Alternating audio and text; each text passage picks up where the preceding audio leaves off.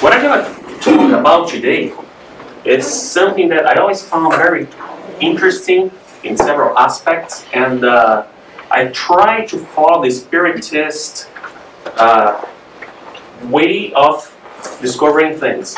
Kardec said, it's not because one spirit said something, it is true. You have to investigate. You have to look for different sources. You have to have this information coming from different places. So, it's been quite some time when I first heard about the last subject of this talk, which is the indigo children, but I heard a lot about planetary migrations of spirits, and I tried to read about all of this. It's interesting how some people they have the time to write pages and more pages about it and against it. so I tried to read both cases, see who would make more sense. So everything that I'm going to present today is according to what I could grasp, what I could understand, what I could, the results of my investigation. Some of the people they were way too tra traveling way too far. Other, they were way too much against everything, just like everything else. So what I could filter is what I'm gonna share with you guys today. Okay, that I find very interesting in this road. So it always starts with uh, group reincarnation or collective reincarnation. When a group of spirits, uh, just like could be 10 spirits, could be 100, could be 200 spirits, they come on a mission at the same time right now to the planet Earth. Okay? So, uh, Emmanuel on the book, uh, I don't, I didn't see this book in English, so I'm translating the title in Portuguese is A Caminho da Luz. So I put on the path to the light or heading to the light, stuff like this. It's a great book that uh, Emmanuel dictated through uh, Chico Xavier, Chico Xavier, that basically tells a history of the world from a spiritist perspective. Why some things happen, it explains uh, why Rome got so powerful or what the Egyptians were doing there from a spiritist point of view. So, on that book explains just like the individuals, the collectivity of people also return to the world through the path of reincarnation. So, several times we have to have a lot of people boom, coming together at the same time. So, let me ask you something to you guys. Is there anybody here that doesn't believe in reincarnation?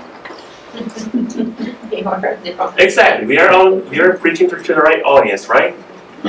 So, just a second. Uh, João said that somebody left the lights on if you have a Volkswagen. It's a beautiful. Oh, it's me. Beetle. I'm so, uh, thank you. Is it you? Yeah. We would hate to see you go back to your car and you have no battery. So I'm sorry to interrupt you. It's raining. Thank you, Joe. All right, so uh, then I'm going to change my question. Do we accomplish all our different corporeal existence upon this earth? In other words, are we, do we always born and reborn here on earth? So that's the question 172 on the Spirits book, which is not so long ago we read this question here on our study that we do every Tuesday. So the, the answer in bold is not all of them for those existences take place in many different worlds. So it always starts with we don't born and reborn on earth only.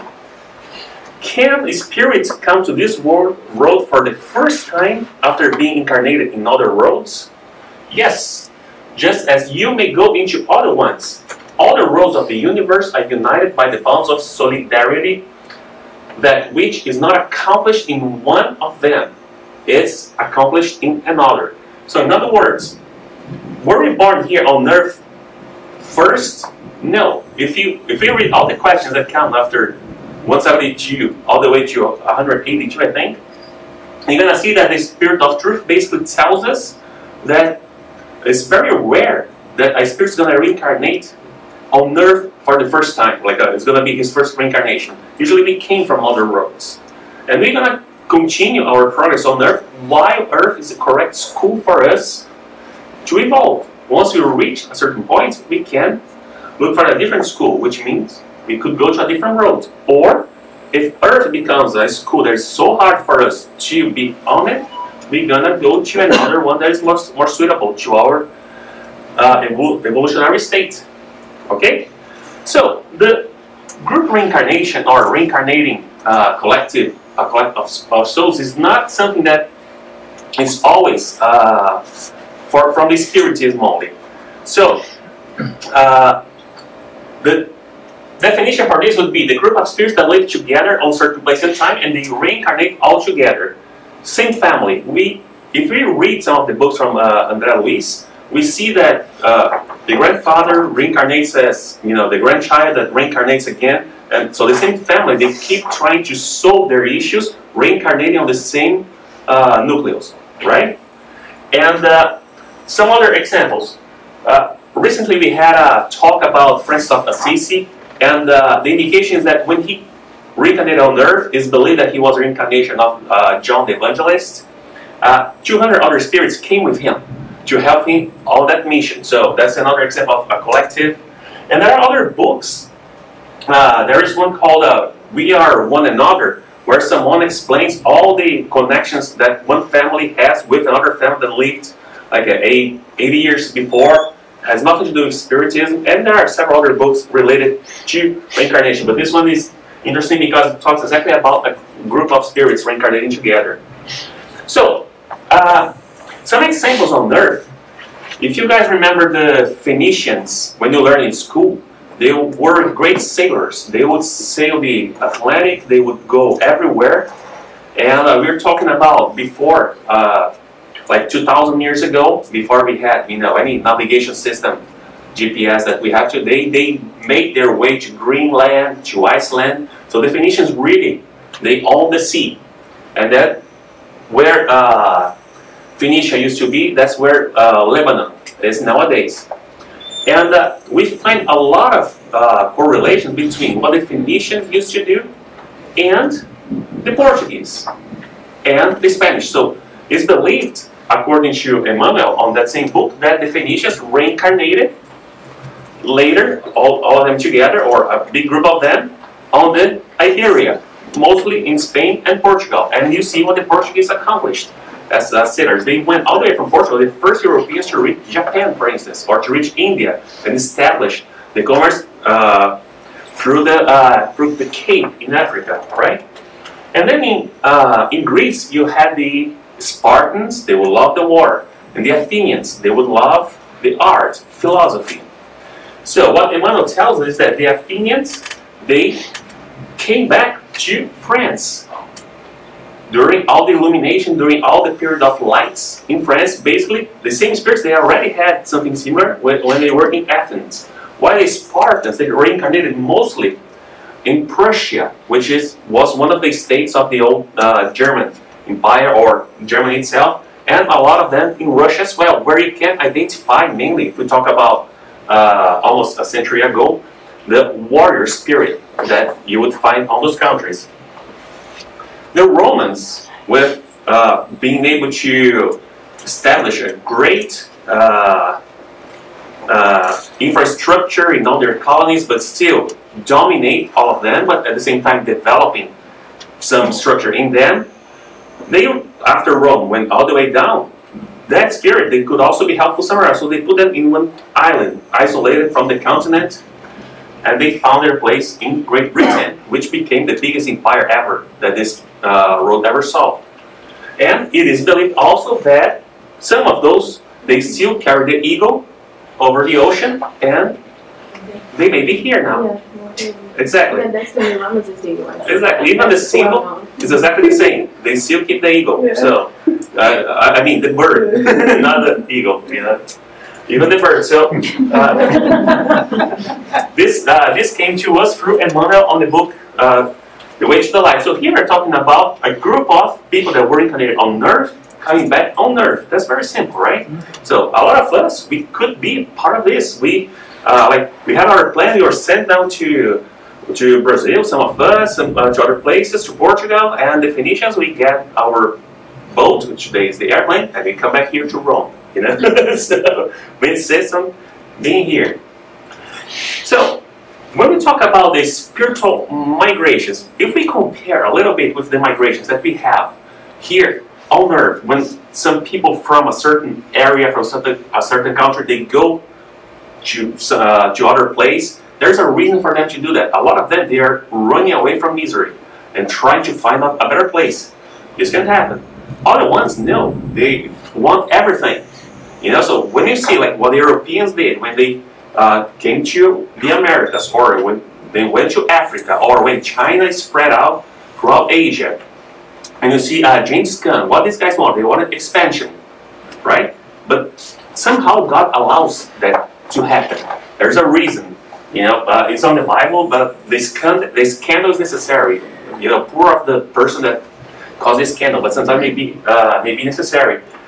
So, not always, uh, like the means to do things may be not ideal, but the results, there are there, there may be good results when this type of thing happen. So, if we go all the way from the questions 172 to uh, 188, we're to be told that we did not always reincarnate on earth.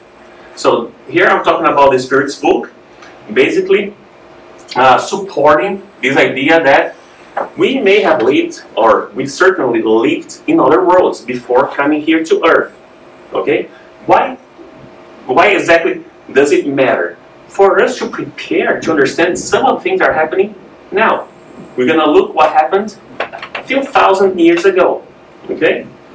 So, when you go to a school, you go to learn. When you put someone that is extremely smart, but not necessarily uh, on the advanced grades that that school needs, you're gonna need to put that person, gonna need you, uh, I don't remember uh, how we say in English, but that person's gonna need to go to that grade again. You know, until you learn all the lessons, right? So they can evolve on their progress. So, we are not, on spiritualism, the only ones who believed that we came from other planets. You know, somehow. Uh, there's this book called The Chariot of Gods that they investigate. Uh, in Portuguese, it would be called Eram Deuses Astronautas. That they investigate some uh, writings on uh, rocks and things like this that suggest that, okay, what does this mean here? Why? We have something that really looks like an astronaut and uh, believe that was drawn maybe you know four uh, or uh, forty thousand years ago. There are several theories. Once this book came out, a lot of people they uh, it's from Carl Sagan. A lot of people looked and said, "No, this is all wrong. This is all right." There was a lot of discussion, but I don't think that that's impossible. That someone was drawing something like this. The difference is on this boat, they believe that someone came actually on a starship, landed, and did everything here. Here in Spiritism, we know that you don't necessarily need to have the matter to come here. It's much, much simpler. It makes much more sense that those spirits, they needed to reincarnate on Earth. This is basically a reflection of what they thought they could be dreaming, but could be simply the remembering what they had before. And that originated, if you uh, if you look it up, there is even the uh, ancient astronaut hypothesis. Talks about that. So uh, the primitive people they would react differently according to this. Uh, in Egypt, they really believed that the uh, during some time the pharaohs they were godlike, they were half divine and half human. Uh, they believed that the, the pharaohs could actually be divine, meaning they would come from you know from heaven to earth or from you know from the sky to earth to actually be able to rule everything. Okay, this picture specifically is a petroglyphs from uh, Val Camonica in Italy. So it's uh, something that they did in the stone. Right. Petroglyph. Right. Yes, Petra. Okay, and uh, some of you may have heard the uh, the idea of spiritual migration that you know not necessarily they are from uh, Spiritism only. Have you ever heard of uh, Scientology? So if you ever saw Tom Cruise or you know uh, some of these guys are really loud. They they voice about Scientology a lot. I don't know much about it. I actually I watched South Park. you know, so I got a head start about that. And uh, the way they put it, you can laugh a lot. You know, just like they do with everything else, they can destroy everything. You know. So I, I tried to read, uh, after I saw that, I, okay, let me see, not the South Park side, but what the actual people say about it. So uh, what they tell, how it all started, uh, Scientology is, uh, is a religion actually based on uh, science fiction. So what they say is that there, there is a uh, galactic confederacy, and there was a ruler called the Zenon, a dictator, and he expelled a lot of uh, spirits 75 millions ago, and their jail, their prison was Earth. So all those spirits, they were sent to a volcano, to the volcanoes here on Earth. How they came? They came on DC-8 air, uh, they look airplanes that look like DC-8 airplanes. they, they, they really tell those things on 75 million years ago, 75 million years ago. came by plane. Not exactly almost airplanes, but it looks like airplanes because, you know, we only invented the airplanes much, much later, you know. But these were spirits that were already old enough. They were living someplace else, but they did things wrong that, you know, Zeno, the ruler, sent them to exile on Earth, you know. And when they came to the volcanoes, they got uh, the thetans, which are uh, matter-like type of things, and your mission on Earth is to be a good person that you can get rid of the thetans. Which I found when I read more about it is very similar to karma. The difference is that here they put as physical things on your spirit. You have to get rid of. You know? Basically, when I compare to what we uh studied more, it's just like I mean, getting rid of the pretty much. Yeah. Exactly, exactly. So Yeah. as as you can see, they're not like completely wrong, but that's the way they like to see those things. We see things differently, but there's a, there are a lot of common things. And my idea here is just to show that we are not the only ones, or the spiritists that believe that we came from other places. So, uh, yesterday we were trying to find the moon using this, the Google Sky Map, and then uh, we found Venus, and right beside Venus we could see Capella. What is Capella? Capella is uh, not one, but actually two giant stars surrounded by two other smaller stars that gravitate around Capella. This is the subject of a lot of discussions since when Emmanuel first said, a lot of people from Earth are from Capella. And then uh, Edgar Armond wrote a book, Exiled from uh, Capella, and that came out, and there's a lot of this. discussion. A lot of people saying, in Capella you cannot have light uh, the way we have here. So let's talk a little bit about this. So Capella is the Alpha Aurigae. So Aurigae is that system of four stars up there. And then uh, Alpha is the, the biggest one on the system of Aurigae. Uh, Capella is 42 light years away from Earth, which means, you know, uh, I've never saw the light from Capella because I'm not 42 years old yet. yeah. so, uh, and according to Emmanuel, what he tells us is that the life, in some degree, is similar to what we have here. Again, it's not they have humans there. They have some type of life that can accommodate spirits. That those spirits can also uh, come here to Earth. So it's a system formed by two giant stars, one nine, and the other one is twelve times bigger than the sun. So they're huge, right? and uh, uh, and a few other smaller stars around that. And uh, the spiritists, according to what we read about Emmanuel, we believe, or Emmanuel tells us, that Capella evolved to a certain level that it was hard for them to keep some spirits that were stopping that evolution from happening. From happening. And uh, what happened then? The planet is no longer vibrating on a certain frequency that accepts people vibrating on a completely different frequency. So what happened next is that, according to Emmanuel, Capella reached a certain period that was the end of certain evolution, basically from a planet of expiation becoming a planet of regeneration. That's how we can interpret that. It's much bigger than that, of course, but that's the closer we can get to this. So those spirits that were not on that level anymore, they will need to go to other school to continue their evolution.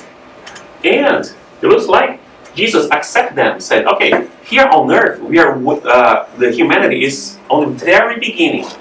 So I do accept those spirits that are gonna born here on earth, on the body of the humans here on earth, and even though they're not morally evolved, they're gonna help develop those spirits while they're gonna have the chance to morally evolve. And who knows, even come back to Capella, if that's what they want, if that's what is necessary, right? So the way uh, they see it is that they were sent to the dark face of earth without being able to see the light of Capella for centuries. And uh, when they came to earth, what was happening was that uh, we all know about the genetic mutations, uh, is the Mendel, uh, Mendel theories that that's how life evolved. Basically, you have uh, the cell that's going to keep reproducing. How are you going to have something different? You have to have a mutation, and you keep mutating, and that's how you have all the different forms of lives. Uh, what spiritism comes to the point there is not denying it's basically inside. Yeah, it all happens, but it has someone on the spiritual road guiding those mutations to happen. It's not by chance. You know? So there's a reason for this to happen. So when those people from Capella they started coming to earth, the spiritists they were still experimenting a lot with humanity, which means they were trying some mutations. These guys here they came and what happened was that it's just like the software adapting to the hardware. Right? Which means that those spirits they also help changing the body of the humans. And they created new races. And those races, they were uh, called the Adamic races, coming from Adam. They came from a time where we were still, or, the, spirit, the spirit, spirituality was, was still experimenting. So there was still a lot of room for these changes. So, if you want to learn more about Capel, there is this book from uh, Edgar Armond, It's in Portuguese. I didn't see a translated in English, so there is a good chance for us to translate it.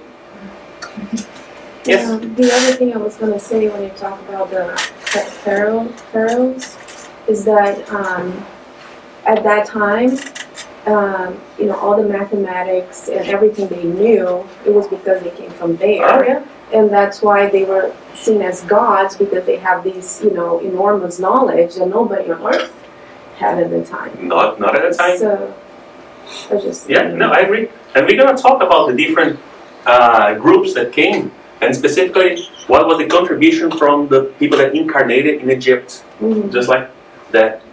Okay? So according to the book, uh, these spirits, they were way more intelligent than the, the people that we already had on Earth, or we were basically on the Homo erectus. You know, we were big, uh, barely getting together as uh, a primitive society when, when this came. So they would have the chance to develop, to help develop these people, while they would have their chance also to morally evolve. So there were uh, four groups of migrations from Capella. Why am I telling this? We're going to understand some of the things that are happening today, and some of the things that we see today. Uh, the first group that we're going to talk about were exactly the Egyptians. So this group came, and among all the groups from Capella, these were the one that has less debit comparing to the other ones. Not compared to the people that stayed in Capella. They still had something to. As you can see, the Egyptians they were extremely evolved in a lot of things. We still don't know how they built the pyramids. No, don't tell we know. No, we don't. How they did. We know how to do it now. We don't know how they did back then. We cannot read their hieroglyphs, what they wrote. We can try to make some sense of it. And uh, we can almost be sure of what is in there. But there's still room for doubt in all of this. These were the ones that uh, they were extremely obsessed about death. If you see most of their monuments, they are related to death. They always uh, if you read more about it, when someone died, it was really a big ritual, and you would live your life preparing to die. And then it's me. They were really hoping that after dying, they would go back to Capella, right? So they had a really higher notion of spirituality and divine power. They didn't have one God, but they knew that the gods they had a lot of power. So someone invisible had a, a lot of power to the point that they confused that, believed that the pharaohs, knowing everything that they knew, they could, they only could be semi-gods, you know, or semi-gods. So once uh, they reach it, uh, once here on earth, reach the point that all those debts were paid enough. Those spirits were gradually returning to Capella. And again, they were not good people. If you read on, on the Bible, for instance, what they were doing to the Jews when uh, uh, Joseph went or Jacob went to the Egypt was accepted, but then they enslaved, uh, they enslaved the Jews for you know a long time until Moses came. Okay, they were morally still fixing some things, but they were extremely evolved on uh, intelligence, on mathematics and astronomy and a lot of those things. So as they were paying their debts, they also return. They start returning to Capella there's not a single trace from the people from Egypt. That area now you have Arabs, you have Arabs people. You don't have the people that actually.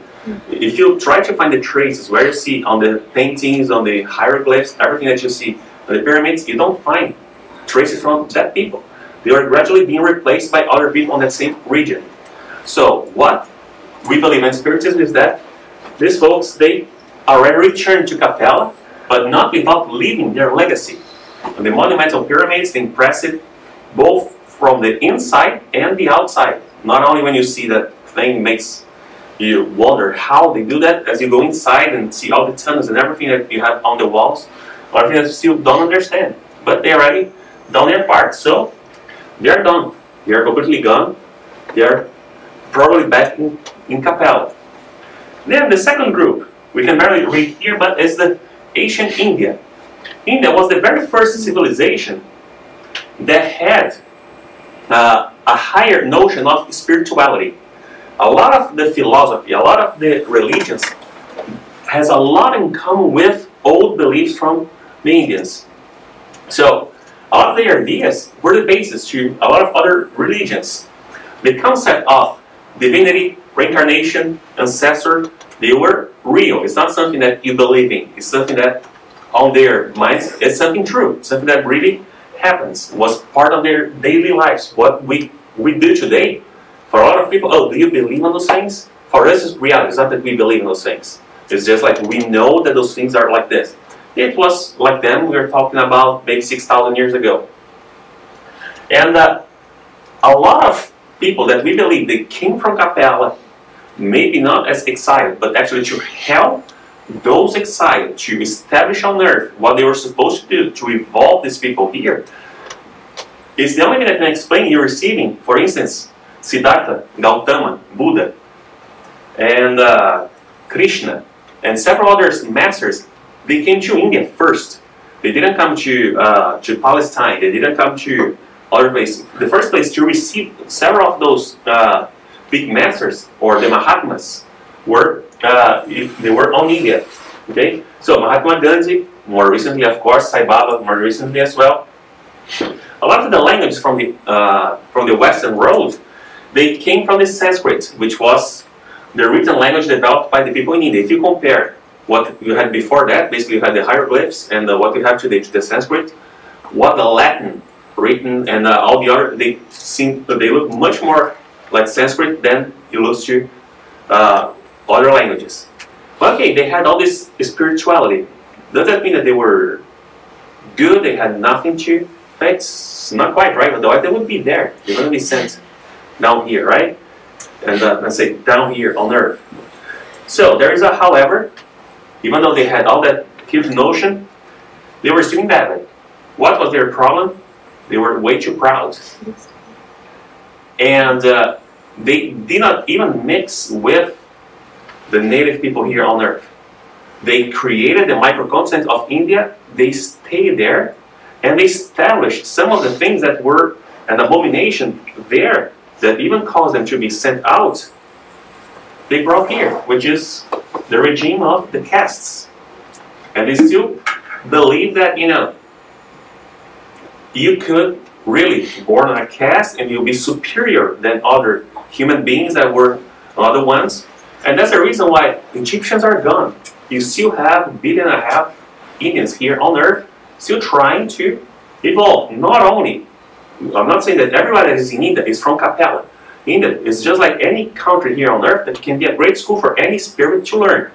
The basis of the Indian society, if we go back to uh, thousands of years ago that we had the castes, and they are still today we believe that this was implemented by these people that came from Capella, and some of them, a lot of them maybe, they're still here. They're still supporting that regime of the castes, which is weird because they always believed in reincarnation. It's not something that uh, they started to believe. Was a reality for most of the people in India and uh, on the Hinduism and everything. But they ignore the idea that if you are on a caste that you are humiliating the other caste, where do you think you're gonna go the next incarnation so you can find a balance? You're gonna be the humiliated one, right? So they ignore that, and so they keep this uh, doing this, you know. But someday, just like us, we hope to get out of this circle of repeating the same the same mistakes over and over, right? Third group, Mediterranean and Indo-Europe. So when you uh, analyze the migration of the people, when uh, people say, okay, how the men reached Europe, uh, how they became so white, let's say, on the northern, uh, on the very north of Europe, and things like this. So this is the group, one more group that came also from Capella, and this was the among of them the most rebellious one, uh, the most uh, warriors and things like this. They did not care at all about religio- uh, religiosity and spirituality. This group started in Persia and migrated all the way everywhere in Europe. Depending on how much they mixed to the humans that were already here, you have some of the differences on uh, on the races there. So they, among the four groups that came, those were the only ones who actually blended and mixed and were responsible to create several new races here on Earth. They didn't, um, even though they were not exactly good people, they were not as proud as the other three groups or the other two groups. The first group of Capella that uh, had some spirituality were the Celtics uh, in uh, Southern Ireland, right, and uh, in Britain, and uh, this was the group that developed all the white races, as I mentioned. Uh, you can separate it in two groups. The Nordic Germanic Slavs, they're more compared to the Spartans, that they were focusing on the military development. They brought this, uh, you see how superior the Spartans were on the militaries, and you had the Latins, Iberians, Franks, and Greeks focused on science and social developments. You needed to have very different to blend and one uh, help fixing the other ones. And finally, you got the Hebrews. The Hebrews. That was the most evolved group that reincarnated on Earth from Capella with regards to religiosity. They had a deep sense of the existence of other worlds, and mainly that there was one God. But among all of them, they were the proudest, the most proud, everything that we can say, one.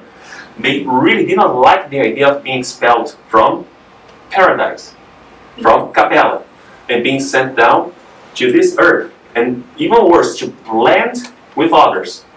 A lot of them, that's what they still think today. I'm not saying that all the Jews are like this, no, but you can find a lot of people among the Jewish community that they really believe still that they should not mix with non-Jews, right?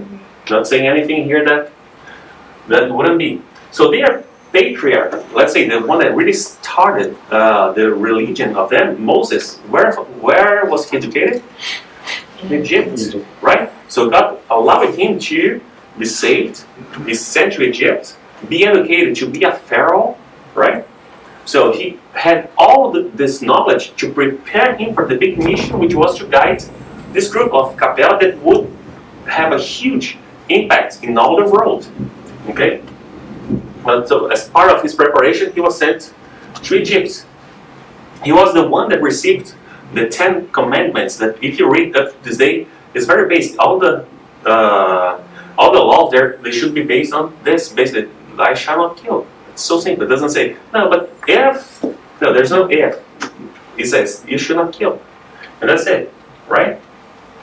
So the notion that they have, that they write on the Bible, that they believe that uh, their uh, prophets were seeing visions that were being sent to him, it makes a lot of sense that what they were basically doing is kind of remembering what they had from the other roads. The road that became so perfect that was considered by them as paradise. And several of those spirits was, were considered the fallen angels. Several of those spirits, they were feeling like they were expelled from paradise. So they even put a name on them. They put Adam and Eve. If you try to read li- literally the weights on the Bible, you have Adam and Eve, Cain and Abel, one kills the other, and then the one that is there marries someone else. Well, marries who? Uh, yeah, that's some of my questions. Exactly. And you find people that try to explain that, and I still think, sure, there's there are more important things to think about because that's I really don't think that that's important because the way we can see this is basically that's the way they were remembering where they were coming from, from Capella. And if you do everything right, you're gonna go back to paradise. Otherwise, you're gonna be sent to hell, which means you're gonna stay here. It's as simple as that, right? So, the Hebrews, they were the, the only one that the, king or the first one to come with the idea that there is one God. Even though they believed that they had one God for them. you know, that the God for the Hebrews were stronger than the gods from everybody else, but they had only one God. But that idea was enough from the beginning to expand to become the universal idea that there is only one God, which they still believe today.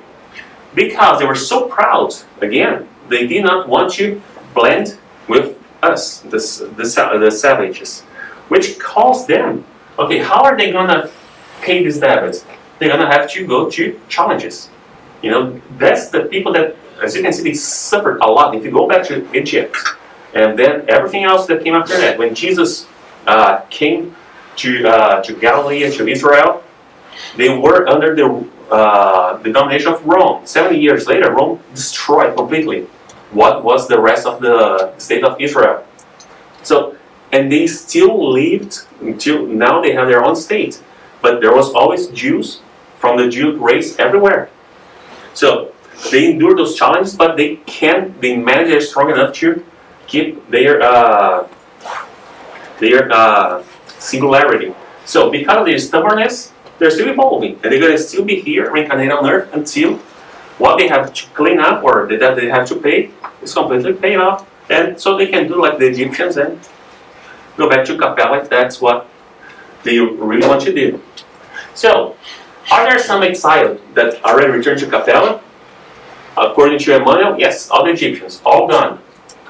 And uh, I read a book that I found very interesting. I didn't see a translation in English. It's this book called uh, Crepúsculo dos Deuses. So it's also called, in English, will be The Twilight of the Gods. It's by this writer called uh, Robson Pinheiro. And it's, it's very interesting. Basically, the book tells the history of the people in Capella investigating what happened to their folks, to their uh, uh, relatives that were sent to Earth, and they come to Earth to see if they can already rescue some of them. The guy from the book, he doesn't say it is true, he doesn't say it is fiction, but it's a very interesting story. Robson Pinheiro is an author of spiritualist books. He is a medium, not exactly very accepted completely by the uh, spiritist community because he also looks on other things other than the way we look uh, the Kardec way. He writes about Umbanda, he mixes both things. So not always, it's going to be hard for, for you to see a Robson Pinheiro book in here. But when I saw the book and I read the back, I found that very interesting. I look like no one's looking, no one's watching, I'm going to read it. You know? so it's, it's not very interesting to, to read. Okay, so the same way as we saw people coming to Earth, we also go to other places.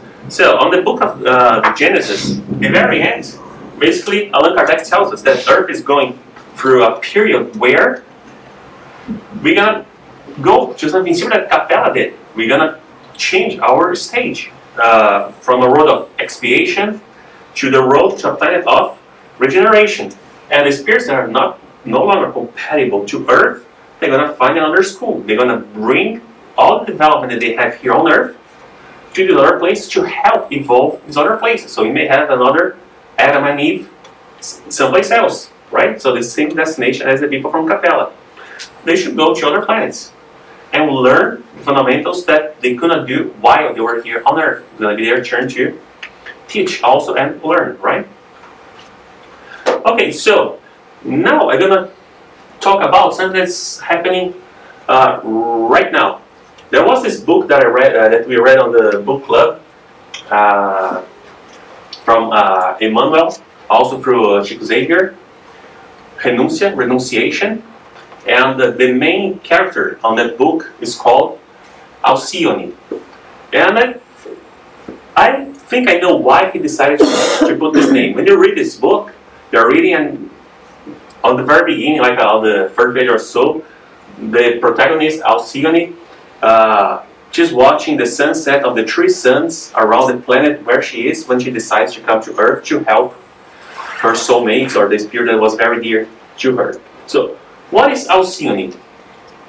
Alcyone is a star from a constellation of the Pleiades. I don't know if I can properly pronounce that in English, but here, Pleiades or Pleiades. Our solar system, we know that we have Earth and we have the moon revolving around the Earth while we revolve around the sun, while the sun revolves around, or the sun moves as well, right? So, if we see this video here,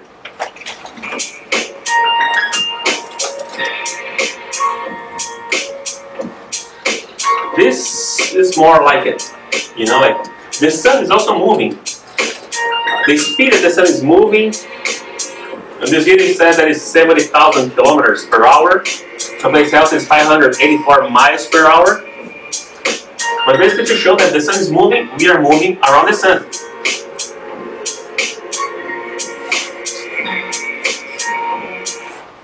Okay? Thanks, Uemara, for the video. And even this video is highly contested because some people say that basically the, move, the, sun, the sun is moving around or uh, randomly. Others say that they're moving, the sun is moving through a specific uh, place. And what I could grasp that makes more sense is that yes, the sun is moving around that orbit around Alcyone, which is also moving around the galaxy. So it takes over 200 million years to go around the whole galaxy, why it takes 26,000 years for the sun to go around this star called Alcyone. So our sun gravitates around this other system, which is Alcyone. And the calculations that came from Edmund Halley, you guys know who he is, right? Uh, he named uh, even a comet after him, right? It takes some calculations 24, other calculations 26,000 years for our solar system to gravitate around Alcyone, which is also gravitating around the galaxy. So Alcyone is a third-sized star, so much bigger than the Sun, and is believed to be the brightest star of that we can see on the sky. So if we see this picture here, that's a little bit like what uh, what I'm talking about here. Here's our solar system. Here is the system of Alcyone. So it takes 11,000 years to go this way, and then it stays for 2,000 years on this uh, circle of on this uh,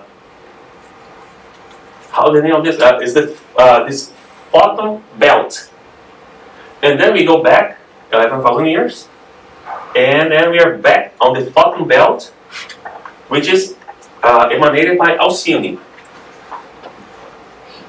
Divaldo Pereira Franco, on his talk about the indigo children, he starts explaining this. So, Divaldo, he has a lot to teach us always. But when I look outside Spiritism to see what people talk about uh, and things like this, you have a lot of people that has nothing to do with Spiritism saying that they're receiving messages from the system of Alcyone.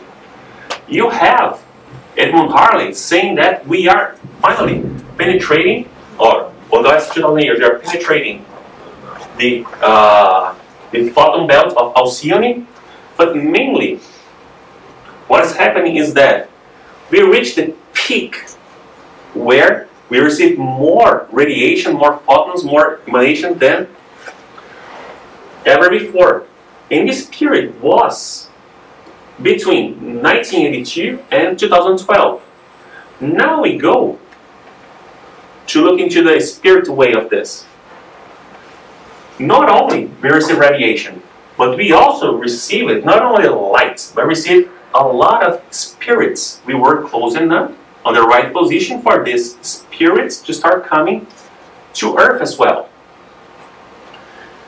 So the same way as the people from Capella, they helped us creating some of the races. We are talking about thousands, six thousand years ago. These spirits coming from uh, Alcyone, they also have a mission here. They also have something to learn and something to teach here. And as one of the uh, their tasks, as they blend here, we're gonna develop also the human body to the next level to when we become a planet of regeneration as well. That means if you look at the past, we used to have way more hair, everybody, right? We have much less now. Maybe we had 12 fingers, I don't know. we have five, but we still have the wisdom to. Hopefully, we're gonna get rid of this, right? I hope we're gonna get rid of almost of our facial hair. I, I don't like that's why I, I say that, you know, hmm. for new times to come. So that's where on the spiritism we believe that those spirits. Okay, let's talk about a little bit about the indigo. The uh, what are those kids? So first of all, on the early uh, on the 70s and many of the early 80s, th- there was uh, this lady called Nancy Ann Tate or Tape. I don't know exactly how pronounce this to pronounce this name. Uh, she had a condition called she was synesthesics. She had synesthesia that, for what I could understand, I'm not a specialist on this. Uh, when she looked at people, she could see colors around these people. With other people, they could as a uh, pathology, as you know. And uh, for us, we don't see everyone that's diagnosticated with a pathology as their body is sick. Maybe they have a spiritual condition that we don't understand and we call them sick. That's how we put a lot of mediums as schizophrenic, right? A lot of uh, other introvert people as uh, autistics. So she was labeled as synesthetic because she could see colors around people. She started writing books about that.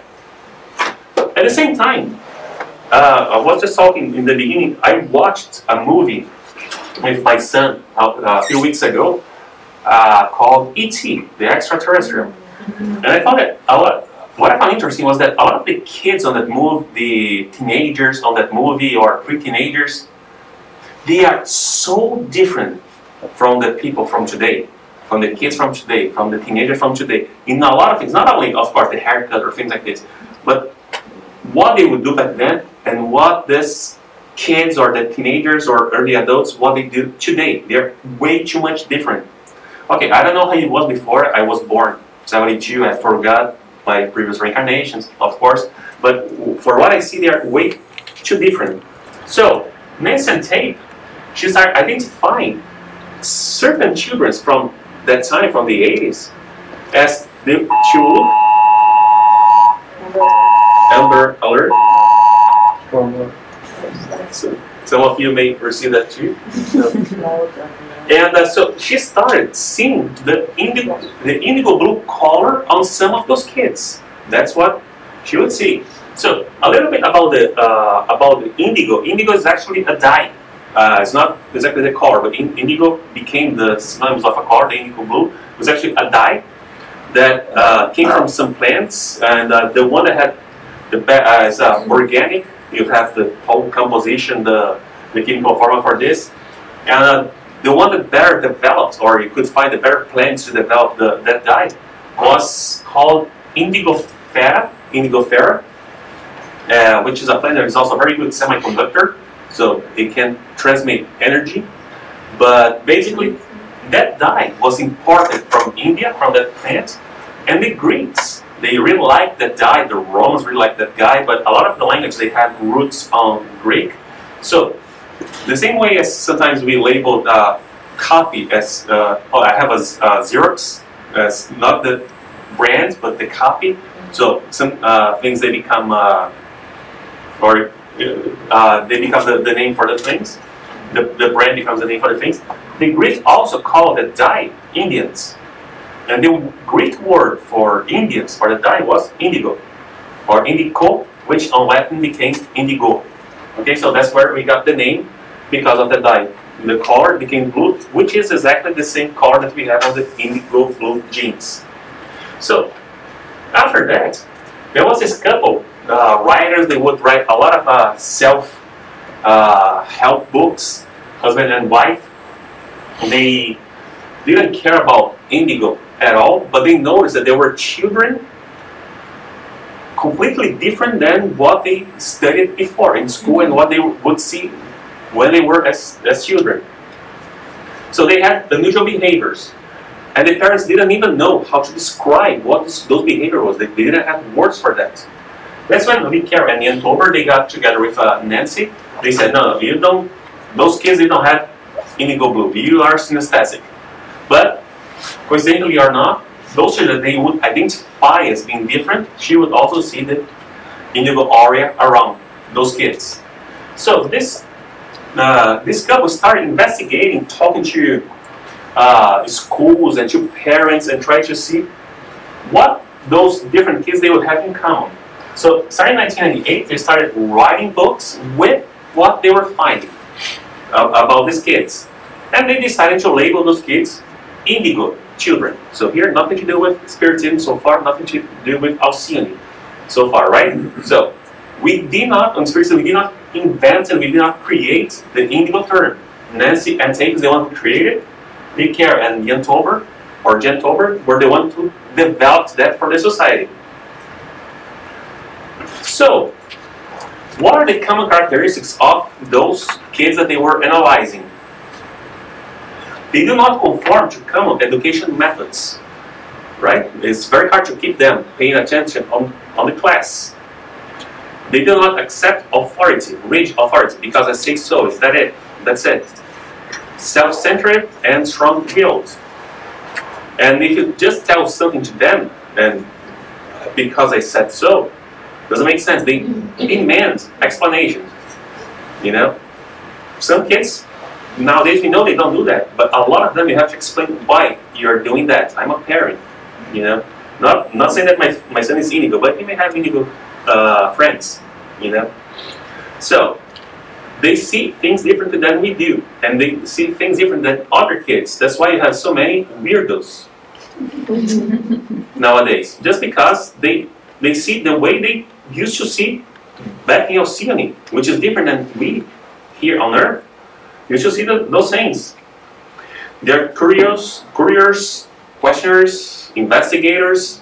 They want to understand how things work, not necessarily build the way we used to build things, but they want to understand how things work. Innovators, very, very artistic. We're going to see some different groups on that. So, because I said so, really don't work with them. And uh, the other thing that I used to hear from my mother, uh, wait until your father gets home, you know? they, they don't care, you know? that, that doesn't make sense to them, which I see happening a lot. I'm not saying it happens to all the kids, but we see this happening a lot, right? So, uh, I don't know if now they have better methods to identify those kids, but we never had in history a record of ADD and uh, ADHD kids as much as we have nowadays. So attention deficit and hyperactivity is way more today because of the sugar.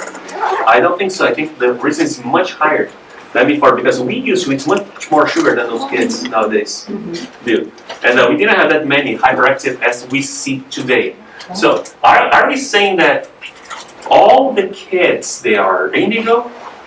Not necessarily. We have pathologies as well. We have kids that may simply be hyperactive. But a lot of them, oh, they are not pathologists. They act, they, we identify them as hyperactive or with attention deficit, but that's how their brain works. That doesn't mean they are pathological. So, you guys ever heard of Ritalin? I guess that's how you pronounce that. You know, Ritalin, Ritalin in Portuguese. To medicate. It's basically labeled the drug of obedience. Makes a lot of those kids basically be calm. They just come down. It doesn't mean make them they make them obedient. It doesn't make them sweet. You know, they basically don't obey you because they're drugged. And uh, a lot of the talks about indigo they, including uh, Divaldo, he says that stop that.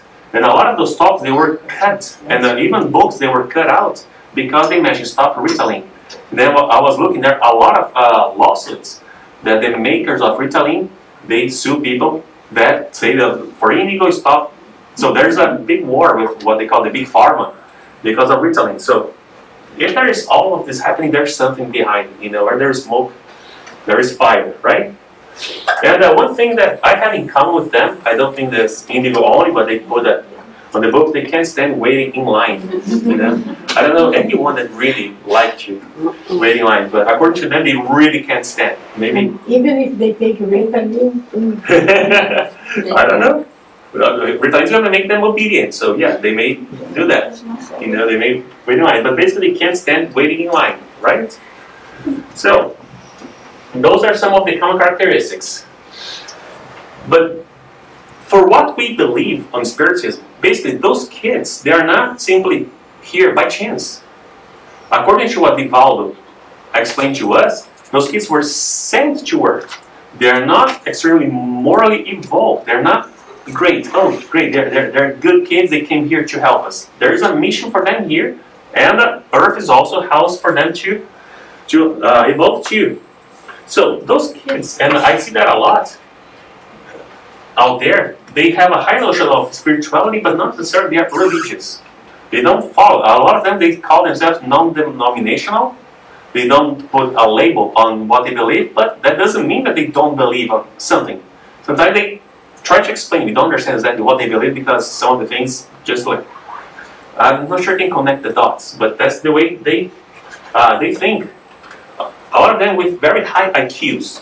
I know some kids that are uh, labeled as hyperactive that they do math much faster than I would expect for a kid on that age, you know, and uh, all of them, you know, those things are extremely easy for them. Of course, we all know that kids six, seven years old, they can teach us how to use our phone much better than we do. It's easy for them. According to what then I believe, they used to do much worse where they came from. was much, you know, much more powerful than gadgets, and they still have to use our, you know, our iPads. Okay, right? A lot of them they make sense of the sixth sense, which means they communicate through telepathy even though we don't exactly understand and can prove that.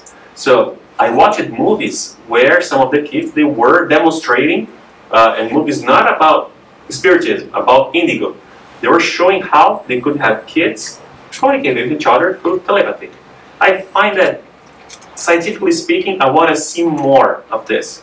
But it's believed that those kids can do that, and uh, I find myself in trouble because when we go to the other side, that's how we communicate as spirits. So if we, if I believe that those spirits are coming, they may be a little bit more evolved than some of us. They already may have that capability.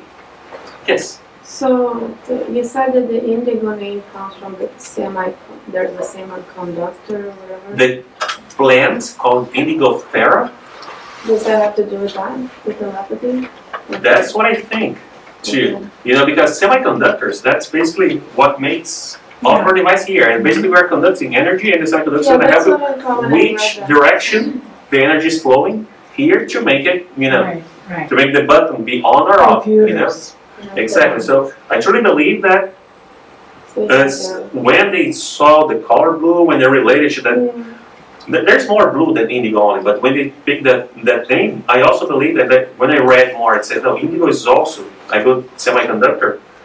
I thought that there's a relationship in there. Mhm. So they could be transmitting Mhm. to each other through their blue aura. You know, I I don't doubt that. Yeah, Okay. Right, it makes sense.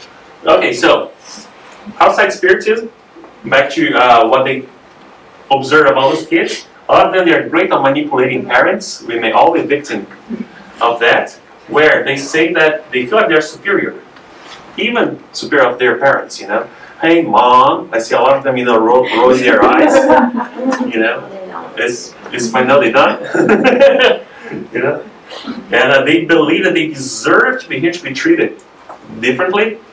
There are four groups you're gonna see. Not all the indigos they are exactly like like this, but self-affirming and uh, can be considered antisocial. That's why we see a lot of them here, you know, instead of around as we used to be. And uh, some of us we may call them that, but no, we we are not inside their brains. We cannot exactly tell that we understand exactly what goes with them.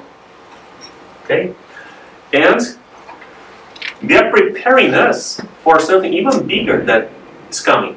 So they also had debts, otherwise they wouldn't need to born here, but they also have a mission here. They're also preparing us, physically speaking, our biotype to also receive what's going to come next, which is believed to be the crystal spirits. So I'm going to show to you guys a quick movie here. What is believed to be Okay, look at this. He's four years old.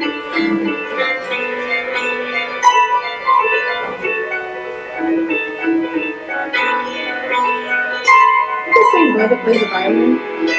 There's a boy, um, Thai boy, who plays the violin. Since Yes. he was three years you old. find and you find a lot of those. And you find uh, one kid in Mexico that when he was six years old, he was preaching the doctors, saying, "Okay, here's where you're wrong. It's not him. It's this and this." You know. So a lot of those, for what I could see, not only myself but that people are pointing, are the indigo children. Extremely high IQ, all those different characteristics, but where did they learn all this? They know much more than we did.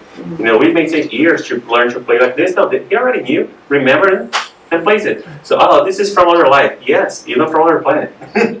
you know? And when I make the case for what they're preparing us to, they're preparing us probably to. I know this may sound as you know coming from me, maybe I watch, yeah. you know. I believe that all of you guys already watched this kid here. Tá. Mas como seu nhoque de polvo? I hope you can read. Povo não é de verdade, né? Então tá. Ele nem fala e nem cabeça dele, né? Você tem a cabeça dele. Não tem cabeça. Isso aí é só as perninhas do polvo picada. E, e a cabeça dele tá no ar? Tá lá na peixaria. O monstro cortou assim. Cortou. O quê? Pra gente poder comer, porque senão a gente ia ter que engolir inteiro. Mas, sim. Pra comer, amor. Igual corta o boi, corta a galinha. A carinha. E quem come? Ninguém come galinha. É, é os animais. É. É. Mas vamos comer o nhoque. Come a batata, então. Só batata e só arroz. Tá, Nem povo é os animais. tá bom. Todos esses são os animais. É os animais. É os animais. Galinha é os animais. É os animais. É os animais. Então, quando a gente comer os animais, eles morrem. Por quê? Pra gente poder comer, meu amor. Porque eles morrem. Não gosto porque eles morrem. Eu gosto que eles ficam sempre. Então, tá. então a gente não vai comer mais não, tá bom? Tá. Esses animais são tem que cuidar deles, não comer. Tá certo. Então come a parte da batata e do arroz. Tá bom. Por que você tá chorando? Não tá chorando não. Eu tô emocionada com você. Eu tô fez uma coisa aí. Tá? Tá bom. So, cute. So, as, as I said, I, I may sound a little bit uh, biased on this because you guys know What makes you think that? of my my preference, but basically I wanted to show how those kids are coming with that notion that if we read the questions 723 of the O Consolador of Emmanuel. Basically, we ask, can we eat meat? And he gives an answer. He's much, it looks like Emmanuel got mad with the question because of the way he puts this. Basically, he explains what this kid explained. Why? You know? And he already born with that uh, type of thing, with that. Well, he didn't forget any of the groups, the pigs, the fish, the cow. Not only remembering those is already great, but he remembered all of those and saying those things. So, this kid was identified during my study as being a big example of the crystal children. Okay? So, how do you educate all those special kids? They cannot stay in the class, they are hyperactive and things like this. You guys probably seen around uh, Montessori schools out there, right? Uh, had no idea what they were. People say, no, it's a different method. Oh, let me see what how different they are. And uh, the uh, Waldorf teaching method. So, basically, those are schools that you don't have a classroom and a teacher, something like this. It's a uh, continuation. You have kids of different ages on the same group. You learn, for instance, uh, this block is a thousand. This block is five hundred. This block is twenty-five. This block is, and that's how you learn math, mixing things. You have to uh, be creative on what you're doing. It's not like you have the teacher here teaching the kids, obeying there. They really, uh, you're talking about methods that were created in 1912, one by uh, Rudolf Steiner uh, in, uh, in Germany, even though he was from Austria, and Montessori School by Maria Montessori in Italy. So over 100 years later, is considered the ideal. And if you look for Indigo children, Montessori is going to show that that's the ideal method to kid to teach several of those kids. And Rudolf Steiner, it's Rudolf Steiner himself is already amazing. He believes that everybody is a spirit, and you're educating a spirit that is on earth. You're not educating kids. And uh, he believes in reincarnation and those type of things, but interesting enough, a lot of his method was adopted by a lot of Christian schools. They didn't apply this reincarnation part, but the, the way he teaches, the education is to be given at home, and the school complements the education.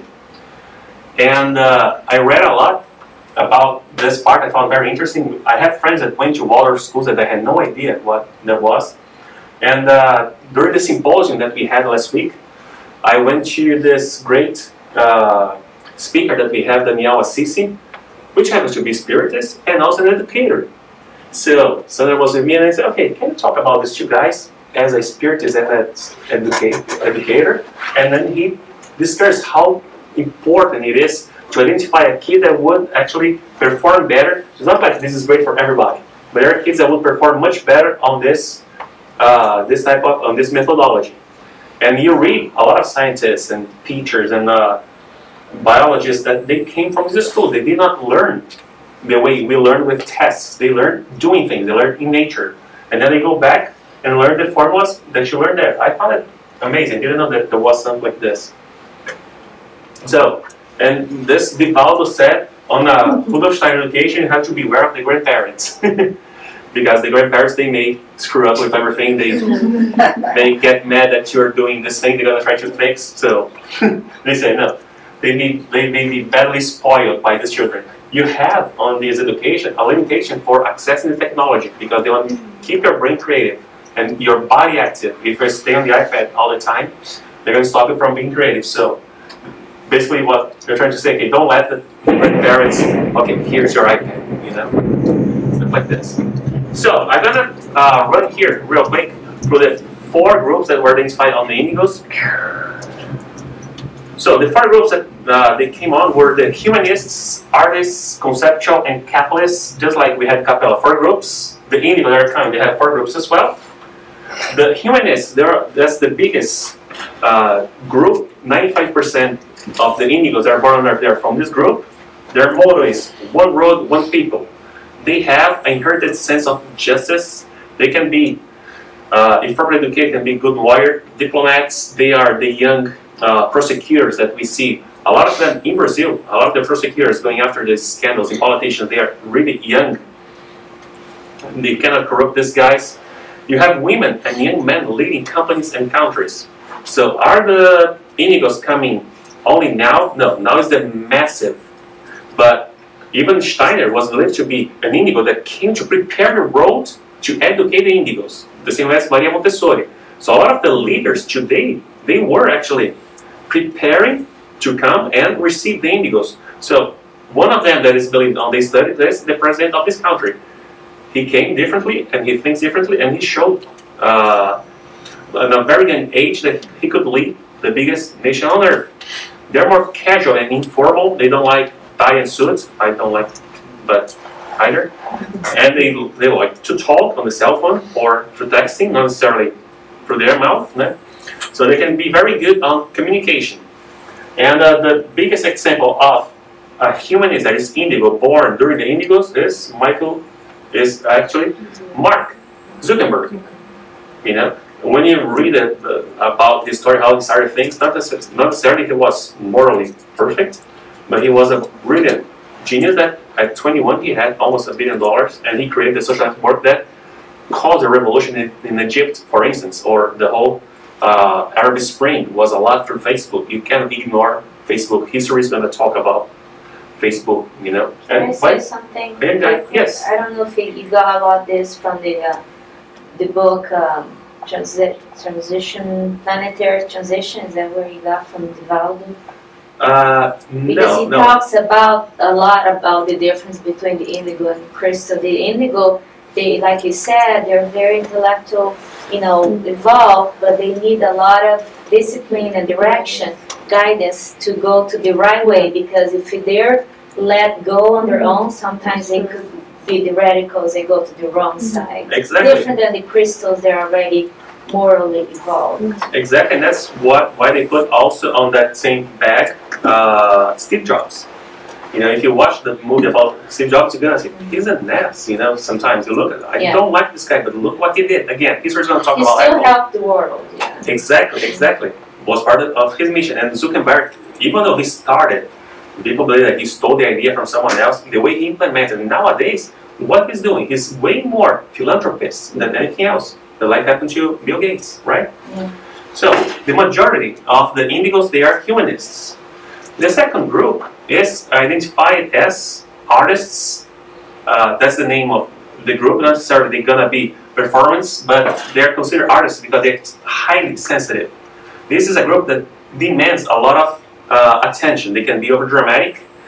This group, if bullied, can cause the serial killers because their sensitivity is much higher than than the other people. You see people that they get frustrated too fast. They get uh, extremely angry too fast. They have a very high sensibility, but they are extremely smart. If properly educated, properly guided, they can be some geniuses on the arts, right? They change interest quickly according to uh, to Divaldo said, if he likes a piano, rent one, don't buy it, because it's gonna last a month. They're gonna change it. all, all, all of their toys, but because they wanna learn how those things work. So they're multi-talented, they're curious, they break their toys, and uh, because they're high sensibility, they have way too many conflicts.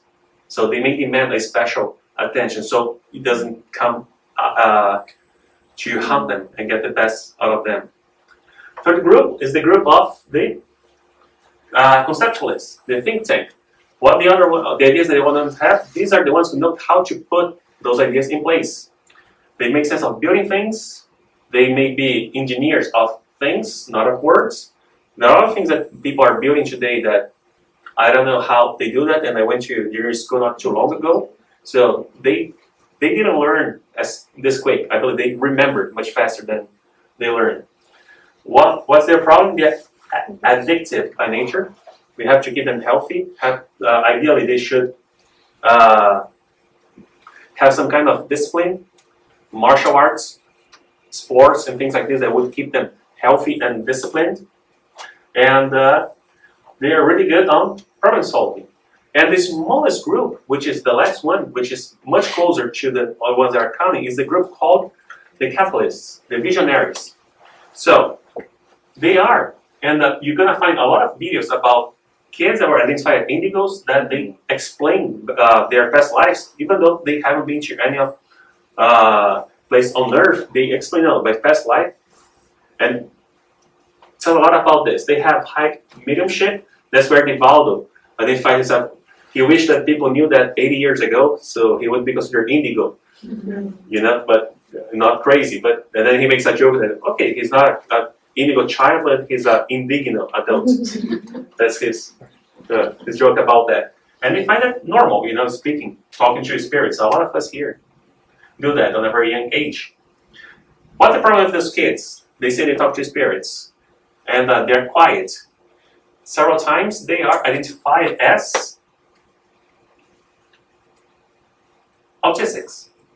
So a lot of the kids identified nowadays as autistics, they may be indigo, and they may be from this very select group because they want just to be quiet because their thoughts are running here.